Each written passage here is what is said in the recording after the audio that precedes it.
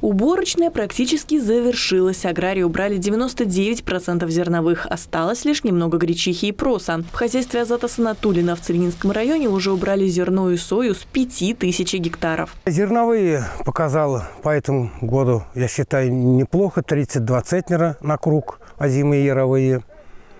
Свеклу еще не знаю, вот только вот сегодня первый день начинаем вывозить. Ну, как говорят агрономы, где-то 300 гектаров, 320 центнеров выйдет. Ну, по этому году это считается, ну, нормально.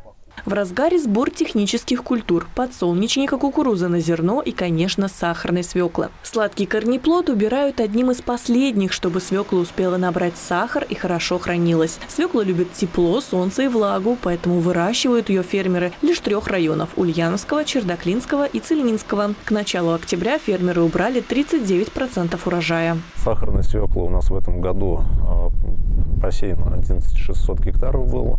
Это на 1400 гектаров больше, чем в прошлом году.